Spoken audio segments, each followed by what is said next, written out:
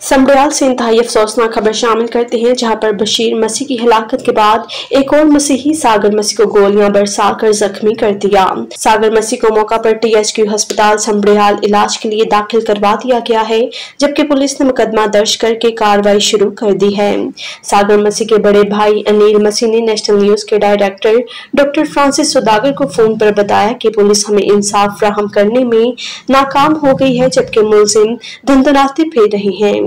अनिल मसी ने मजीद बताया है कि कुछ महीनों से हमारी अपने गाँव के चौधरियों के साथ लड़ाई हुई थी, जो कि गुजश्ता माह 14 सितंबर को भी हुई। इस लड़ाई में हमें गाँव के चौधरियों ने धमकी दी थी कि इसका अंजाम आपको भुगतना पड़ेगा। सागर मसीह के भाई तनवीर मसीह ने मीडिया से गुफ्तु करते हुए मजीद क्या कहा, जानते हैं। मैं तनवीर मसीह, तहसील समड़ियाल गाँव जगतपुर का रहायशी हूँ। मेरा छोटा भाई सागर मसीह जो कि काम के सिलसिले में से घर से निकला और दो नाम मलूम अफराद ने पीछा करते हुए रोड से कुछ आगे ही उसे रोका और उसे कंफर्म किया, तुम सागर मसीह हो। उसने कहा हाँ। उसके हाँ कहते ही उन्होंने उसे गोली मारी और थोड़ा सा वो पीछे हुआ और दूसरी फिर गोली मारी और वहाँ से वो भाग गए।